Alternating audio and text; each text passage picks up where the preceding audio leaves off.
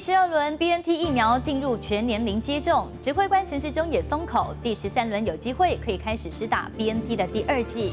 但是根据指挥中心所公布的数据来看，竟然有部分第一类到第三类，还有第七类的对象已经可以打到第二剂 BNT 了。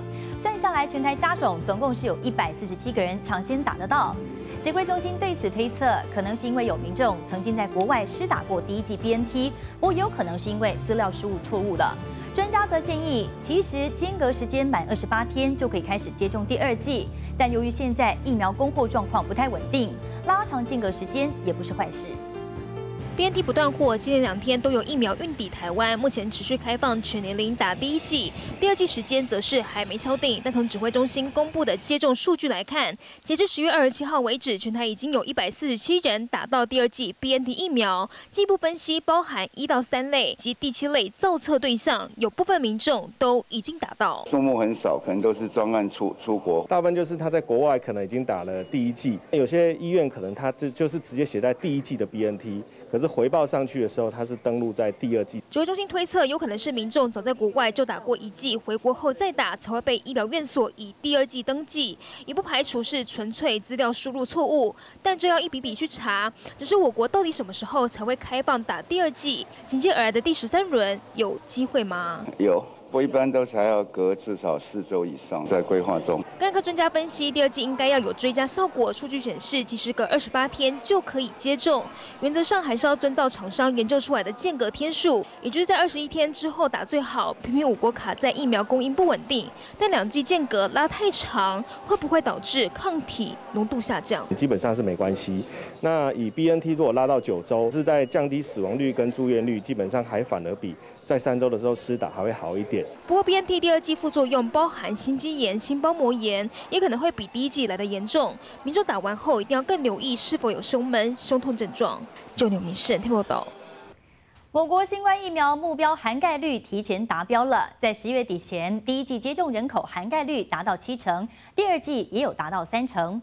专家现在更列出了英美两国的数据，可以发现呢，单看第一季，我们台湾的涵盖率不但是接近英国的百分之七十三，更是超越美国的百分之六十六，让专家直呼这根本是另类的超英赶美。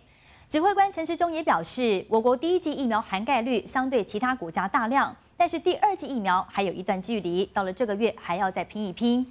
他也透露，明年春节之后放宽边境的机会很大，现在已经有逐步开放的计划。第十二轮疫苗如火如荼开打，十月底前目标疫苗涵盖率提前达标。目前国内第一剂涵盖率达七成，第二剂也达三成。专家更列出国外数据做比较，现在英国两剂都超过七成，美国第一剂达百分之六十六，第二剂也有六成。单看第一季，台湾不但接近英国，更超越美国。专家直呼根本是另类的超英赶美。他们是从去年二零二零年十二月就开始施打，所以这个数据其实是蛮蛮厉害的，而且也可以。看得出来，我们全台湾的人，大家都很努力的这个向上，但只是说我们的第二季还是接下来大家需要再加强，然后尽可能的在最短的时间把它给加强起来。第二季涵盖率仍需努力，但覆盖率要拼，防疫措施也得做好做满，否则病毒可能会趁虚而入。针对这个变种病毒的一个预防，还有国境的一个。管控严控之外，另外的话就是在解封之余，可能还是要防止这个境外移入或是社区的感染爆发。而随着疫苗涵盖率上升，国内疫情逐渐稳定，春节假期就要到来，是否有可能放宽边境管制呢？有现在在朝向开放的路哈，不过也要考虑到量能，因为马上就要春节的哈就要到了哈，所以要考量是准备要是有这样开放哈，逐步开放有计划的一个来开。陈时中透露，下一步会有计划性的逐步放宽，农历春节将至，就盼量能足够，让大量台商留学生返台回家跟家人团聚。记者徐杰、陈清顺台北采访报道。国内防疫规定持续松绑，中央宣布从十一月二号开始，民众到 KTV 唱歌可以把口罩拿下来饮食。不少业者赶紧动起来，进行厨房清洁，还有征实薪工。另外，停工将近半年的八大行业，在符合防疫规范之下，没有陪侍的店家预计从十一月二号也可以复业了。另外有陪侍的，则是十六号开始可以开门做生意。中部知名酒店也都蓄势待发，开始在网络上征人。工作人员忙着把所有碗盘通通拿出来清洗。半年来厨房停止营运，如今总算等到防疫松绑，十一月二号开始，民众到 KTV 唱歌不用戴口罩，还可以开放饮食。这样子是不够的，我们之后还在进来这样子。除了清洁环境，空荡荡的厨房也忙着备料进货。员工们对于可以逐渐恢复到疫情前的营运模式，都超兴奋。看到客人是一种快乐，听唱歌是一种享受。目前假日的话比较多，大概几成？至少有八 KTV 店员动起来，准备要迎接更多客人上门。除此之外，店家也赶紧增人，补足人力。觉得不方便的人还是不少啦，所以这样子的话会大大增进他们来的意愿。除了 KTV 防疫规定再放宽，这回松绑也纳入八大行业。